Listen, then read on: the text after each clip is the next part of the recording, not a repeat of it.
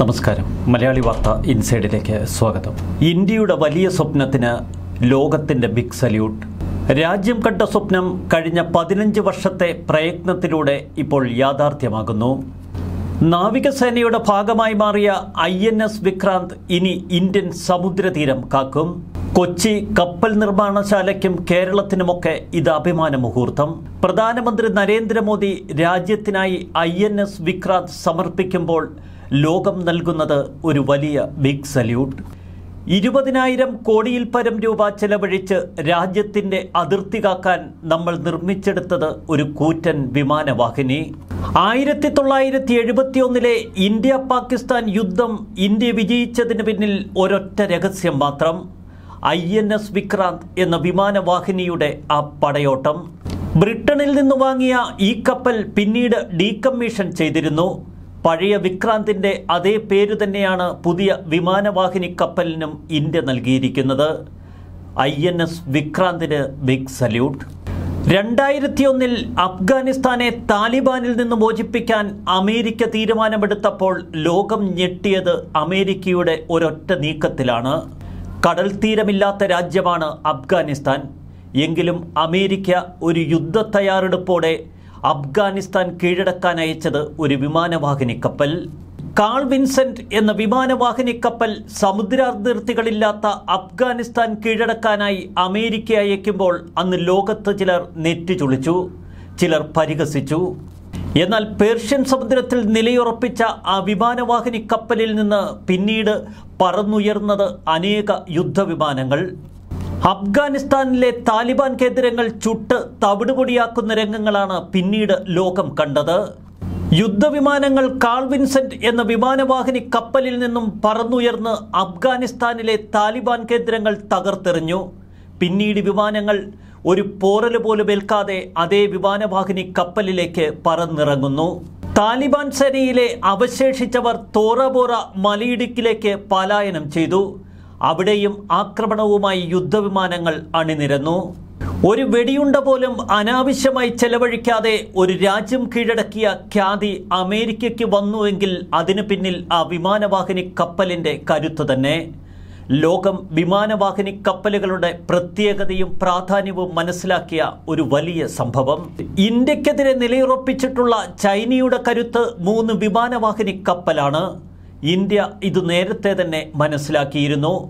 ആയിരത്തി തൊള്ളായിരത്തി തൊണ്ണൂറ്റിയേഴ് നവംബർ മാസത്തിലാണ് ഇന്ത്യയുടെ ഒരു പുതിയ ചുവടുവയ്പ്പിനെ കുറിച്ച് ലോകം ആദ്യമായി തിരിച്ചറിഞ്ഞത്. രാജ്യം ആദ്യമായി ഡിസൈൻ ചെയ്ത് നിർമ്മിച്ച യുദ്ധക്കപ്പലായ ഐ എൻ എസ് ഡൽഹി രാജ്യത്തിന് സമർപ്പിച്ച ചടങ്ങ് കഴിഞ്ഞ് മുംബൈയിൽ നിന്ന് ഡൽഹിയിലേക്ക് നാവികസേനാ മേധാവി അഡ്മിറൽ വിഷ്ണു ഭഗവത് തന്റെ പ്രത്യേക വിമാനത്തിൽ യാത്ര ചെയ്യുമ്പോൾ പത്രലേഖകരോടായി ഒരു വലിയ രഹസ്യം തുറന്നു പറഞ്ഞു. ഇതിലും വലിയൊരു സന്തോഷം ഞാൻ നിങ്ങളോട് പറയട്ടെ. നമ്മൾ ഒരു എയർ ഡിഫൻസ് ഷിപ്പ് നിർമ്മിക്കാൻ ആലോചനകൾ തുടങ്ങിക്കഴിഞ്ഞു. തികച്ചും അവിശ്വസനീയമായ ഒരു കഥ പോലെ തോന്നി പത്രലോകത്തെ ആ വലിയ ലേഖകർക്ക്. തുടർന്ന് മലയാളിയായ ആർ പ്രസന്നന്റെ നേരെ നോക്കി അദ്ദേഹം പറഞ്ഞു നിങ്ങളുടെ നാട്ടിലാണ് ആ വിമാനവാഹിനി കപ്പൽ നിർമ്മിക്കാനൊരുങ്ങുന്നത് ആയിരത്തി തൊള്ളായിരത്തി തൊണ്ണൂറ്റിയേഴിൽ ഇന്ത്യ ഇത്തരമൊരു തീരുമാനമെടുക്കുമ്പോൾ ഒരുപക്ഷെ ലോകം പോലും നെറ്റിചുളിച്ചിട്ടുണ്ടാവാം വിദേശ നാണ്യ ഞെരുക്കത്തിൽ നിന്നും ആഭ്യന്തര ഉൽപാദന മാന്യത്തിൽ നിന്നും ഒരുവിധത്തിൽ കരകയറാൻ ശ്രമിക്കുന്ന ഇന്ത്യയാണ് ഇരുപതിനായിരം കോടി രൂപയോളം മുതൽ മുടക്കിൽ ഒരു വിമാനവാഹിനി കപ്പൽ നിർമ്മിക്കാനുള്ള തയ്യാറെടുപ്പ് അന്ന് തുടങ്ങിയത്. എന്നാൽ രണ്ടായിരത്തി നാലിൽ രാജ്യം ആ വലിയ സ്വപ്നത്തിന് തറക്കല്ലിട്ടു. തൊട്ടടുത്ത വർഷം കപ്പലിന്റെ ഉരുക്കു മുറിച്ചു. സ്റ്റീൽ നൽകാതെ റഷ്യ ഉയർത്തിയ വലിയ പ്രതിസന്ധിയിലും കോവിഡ് കാലം നമ്മെ തളർത്തിക്കളഞ്ഞ കാലഘട്ടവും കൂട്ടിച്ചേർത്ത് നാല് വർഷം നഷ്ടപ്പെട്ടു. ഒടുവിൽ എല്ലാ സ്വപ്നവും പൂർത്തിയാക്കി ഇന്ത്യയുടെ കരുത്തൻ ഐ വിക്രാന്ത് നമ്മുടെ രാജ്യം കാക്കാനിറങ്ങുന്നു. വിമാനവാഹിനികൾ അനാവശ്യമാണ് എന്നൊരു കൂട്ടർ എന്നും പരിഹസിക്കാറുണ്ട്. അടയിരിക്കുന്ന താറാവ് എന്നാണ് സാധാരണ വിമാനവാഹിനികളെ ഇവർ പരിഹസിച്ച് വിളിക്കുന്നത്. എന്നാൽ ആയിരത്തി തൊള്ളായിരത്തി എഴുപത്തി ഒന്നിൽ ഇന്ത്യ പാകിസ്ഥാനെ കീഴടക്കിയത് ഇന്ത്യയുടെ കരുത്തനായ ആ ഐ എൻ എസ് വിക്രാന്തിന്റെ സഹായത്തോടെ തന്നെ. ഐ എൻ എസ് വിക്രാന്ത് ഒരു ഒഴുകി നടക്കുന്ന യുദ്ധകേന്ദ്രമാണ്. അത് സ്ഥിതി ചെയ്യുന്ന മുന്നൂറ്റി അറുപത് ഡിഗ്രി ചുറ്റുമുള്ള ആയിരക്കണക്കിന് കിലോമീറ്റർ ആകാശവും കടലും കരയുമെല്ലാം അവൻ കീഴടക്കി കളയും. എല്ലാം അതിന്റെ നിയന്ത്രണത്തിലാണ്. കടലിന്റെ ഉപരിതലം മാത്രമല്ല അതിന്റെ ആഴങ്ങളും മുങ്ങിക്കപ്പൽ ഉയർത്തുന്ന വലിയ അപകട സാധ്യതയുമൊക്കെ അവൻ തകർത്തെറിയും. സ്വന്തമായി ആക്രമണം നടത്തുക മാത്രമല്ല അതിന്റെ നിയന്ത്രണ പരിധിയിലുള്ള മറ്റ് യുദ്ധവിമാനങ്ങൾ യുദ്ധക്കപ്പലുകൾ അന്തർവാഹിനികൾ സുപ്രധാന സ്ഥാപനങ്ങൾ എന്നിവയ്ക്ക് നേരെ ആക്രമണങ്ങളെ ഇവ ചെറുക്കുകയും ചെയ്യും. യുദ്ധമേഖലയിൽ എന്നും ചൈനയുടെ കരുത്ത് ചൈനയ്ക്കു സ്വന്തമായുള്ള മൂന്ന് വിമാനവാഹിനി കപ്പലുകൾ തന്നെ.